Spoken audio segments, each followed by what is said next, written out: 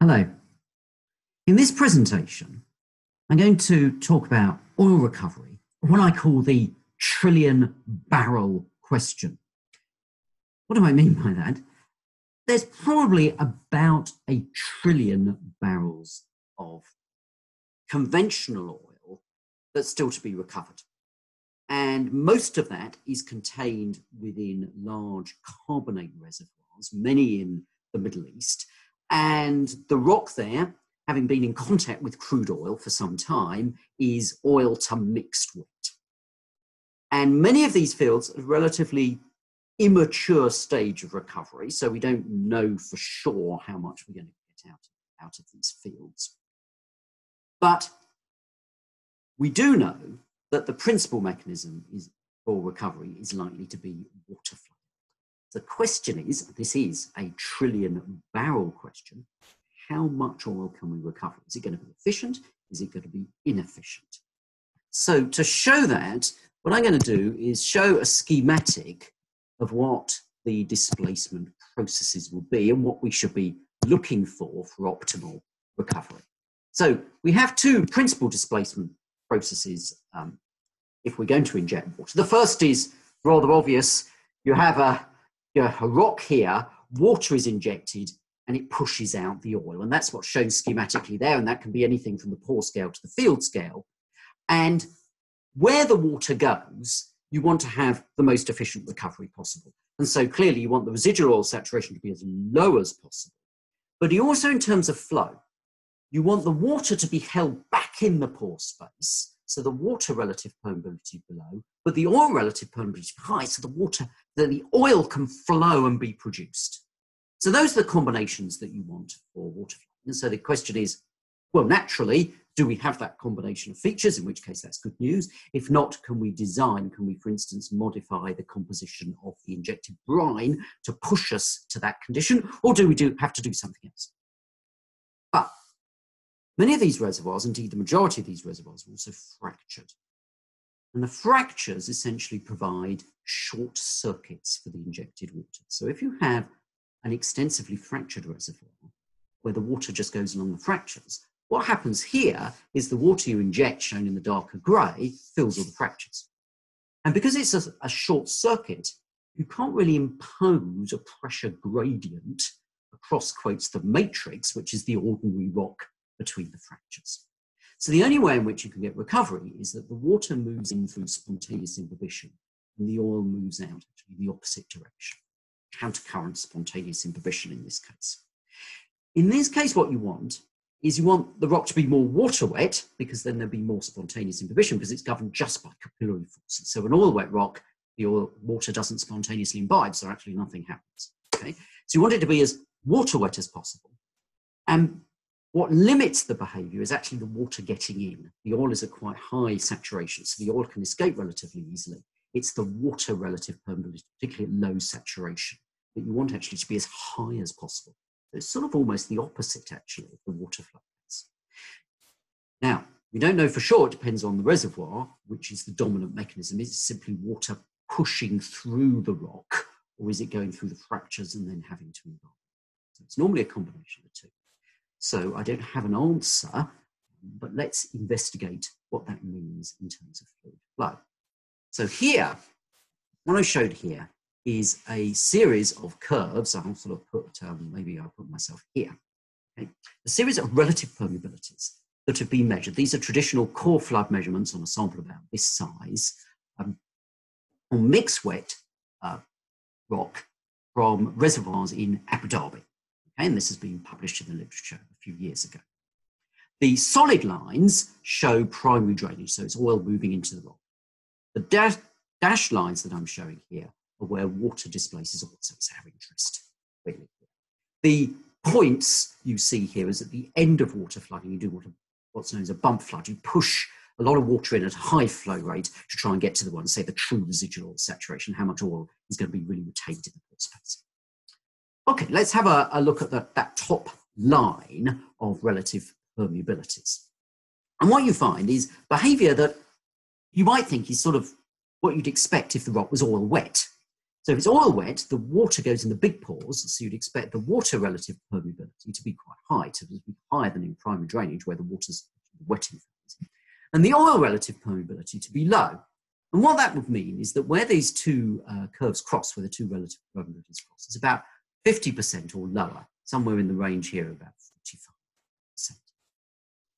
That's bad for recovery. Now, why is it? Where the relative permeability cross, if the viscosities are the same, that means you've got the same amount of flow as oil or water. You get to a higher water saturation, you're flowing more water than oil, which means at a well, you're producing more water than oil, which is clearly uneconomic. So, what you want is actually you want this so called crossover point to be at high water saturation, because that means you've displaced a lot of the oil. We started with an initial oil saturation here that's in the range of about 10%, and you want to move to a very low um, um, oil saturation, a very high water saturation. But you don't get to the true residual because eventually at the well, what you're doing is you're producing so much water compared to oil, it's no longer economic to continue to produce. So just as a, a quick guide, this isn't quantitative at all, but as a quick comparative guide, we look at where the relative permeabilities cross. If it crosses at a low water saturation, that means you don't put much water in, but you get a lot of water out. So that's bad for recovery. Right? That's bad news. And that's sort of classically what you might expect in an oil wet rock because the water relative permeability is high because the water's in the big pores. Oil relative permeability is low because oil's in the small pores. Those curves go to the left. Okay? So that's bad recovery. So the top line is looking bad. Okay, bad news. We need to do something else. The other six, I know I'm covering up one of them, but the other six, actually the other way around. The oil relative permeability also does tend to be quite low. The oil is, is, is in the smaller pores, um, and so you see the oil relative permeability low and, and lower in most cases it isn't. So that's that sense. The residual saturation, the true residual saturation, is quite low, around 10% or so, and that's characteristic of a mixed wet rock because you've got these oil layers that keep the oil connected. The water relative is very That's a bit curious. The reason is, as explained in a previous video, is this is because the end of primary drainage, the water is in the nooks and crannies and narrow pores, then becomes more oil wet. The water is essentially pinned and can't move, it can't swell in these layers. Actually has a very low relative permeability, very low flow. And you only get a significant water relative permeability, so the water relative permeability sort of goes up and bumps up after this bump flood, when the saturation, the water saturation, is really very high, where it's connected through the big pores. So what we have here is, in fact, good recovery. The crossover point here is more like 60, 65% as opposed to 40%. So we're seeing a difference actually 10, 15, or even 20% um, in the local displacement efficiency, how much you recover from a small piece of rock if the water goes there. So why? It's to do with the connectivity of these water layers. Can we design this process? Obviously, we want to be in the good recovery zone. And the implication here would be that many mixed wet rocks, where you have oil and water layers are both present, may in fact give you this favorable. So, do we see this? And when I say see, if we do some X ray imaging, what do we get? So, here is uh, some results um, from our laboratory. And what we're showing here, let's, let's look at the pictures on the right to begin. So the top layer is quite a raw image, two-dimensional cross-section uh, through a three-dimensional image. Then the second one is, is showing essentially the remaining oil. So you water flood, you've got crude oil in the rock, the uh, surface of the rock has then been so-called aged or changed to um, an altered wettability state, and then you inject water. And what's shown there with the different colours is the remaining oil after the water flood. So how much is left behind? Okay, the first case, WW, is actually more water wet rock. The crude oil went in, but it wasn't given really time to change the wettability. So what you find there is the recovery is not great because in a water wet system, the oil gets trapped in the larger pore space. You get these blobs, so the different colors are different trapped blobs. So the recovery there um, doesn't look good. And in fact, here is the oil recovery against the mean contact angle. So the water wet case has a mean contact angle um, just below 80 degrees. So it's not strongly water wet, but it is water wet. Now let's take the oil wet case. This is the second one. Here in blue, essentially the oil is still all connected because it's there's a strong wettability alteration. It likes the solid surface, so it clings to the solid surface. So what happens is you inject water. The oil flows really slowly, but is retained, stays in the pore space. And so in fact, the recovery is bad. It's even worse. Now it's worse not because the true residual saturation is higher than the water case, but if you inject a reasonable amount of water, in, in an oil field, you're lucky to inject more than one or two pore volumes, that is, replace the volume of the reservoir once or twice with water. In these experiments, um, this is after 10 pore volumes of injection. But because the oil is flowing so slowly, it just doesn't move. It hasn't, you haven't got rid of it. So the recovery is actually even lower in the water wet case.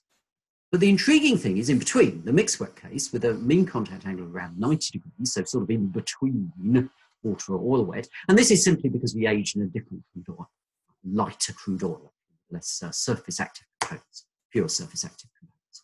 So what we got here is at the end of water flooding, the remaining oil is still quite sheet-like. You've still got these oil layers. But in fact, they've allowed a better connectivity. The water has been held back in the pore space. And so the combination of oil and water layers have actually allowed a very favourable recovery. So this is actually the best. It's the highest recovery is in fact this mixed wet case. So you don't want it to be strongly oil wet because we showed with the relative permeability in the previous slide, high water relative permeability, low oil relative permeability. The crossover is low. You basically keep the oil in. Water wet isn't ideal because you're trapping in the large spaces. This mixed wet state seems somehow with these oil and water layers to be ideal. So can we do a little bit more than that? And the answer is yes. Here are some experiments performed by um, two PhD students in my group, Emma and Ying.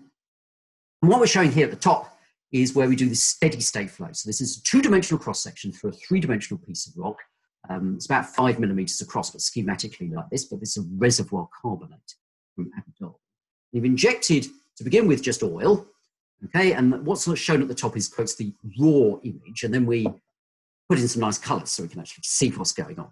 So to begin with, um, we've just got uh, oil being injected, and we've got a small amount of water in the nooks and crannies of the pore space shown in blue, but most of the pore space is red, that means oil. Um, the white is the rock itself. Okay? Then what we do is we increase the amount of water, so we're reproducing in a laboratory a water flood process.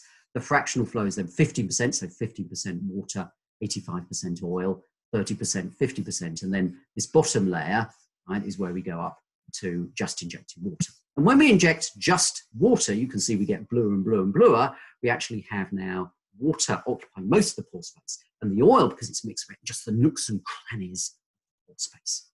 Okay, so just a little bit of oil remaining so you can see immediately this looks like a rather favourable displacement. So something, uh, water flooding um, is likely to be quite successful in terms of recovery, assuming that we're not heavily fractured. So let's see what this means in terms of relative permeability. So the pictures here are showing the oil phase of different fractional flows. So to begin with, the oil's all connected, all that blue cluster. Then at the resolution of the image, it seems to get disconnected, but clearly there is some flow, and it's probably through these layers that are so thin we can't even see them in the image because we don't have, we can't see layers that are smaller than a few microns. But on the right is the relative permeability with the relevant equation. It's the Kr that we're looking at here. And uh, the blue is the water relative permeability that remains quite low. The water isn't well connected because it has to flow through these very narrow layers established at the beginning of primary drainage, and you can see there's a little bit of water in the nooks and crannies, you have to flow through that to get in through the centre of the pore space. So it's only at a very high saturation that the water relative permeability increases. The oil relative permeability does fall quite sharply, um, but the residual saturation is quite low here, or the last saturation we get to is less than 20%. The crossover point is about 65%. That's good for recovery. So if we have a water flooding process, this is just one experiment on one piece of rocks. I'm not saying it's generally true, but for this particular sample, it looks pretty favourable. If we have a fractured reservoir, however, this would not be favourable because most of the pore space is oil wet, so there would be no spontaneous imbibition.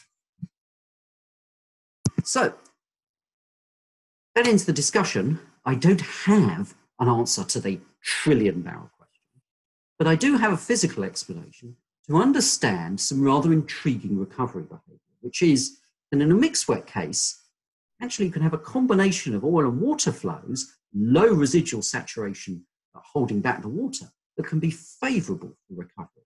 On the other hand, the other extremes, a more water wet case, a more oil wet case, actually give you lower recoveries. Now the question is, yes, what does it mean for a wide range of rocks under a wide range of conditions? And can we try and manipulate the conditions to be in that so called recovery sweet spot? That is obviously something for future work, but the techniques we have here, in terms of the imaging and the measurement of relative permeability, combined with some physical insight, should help us design these processes more efficiently. So, thank you very much.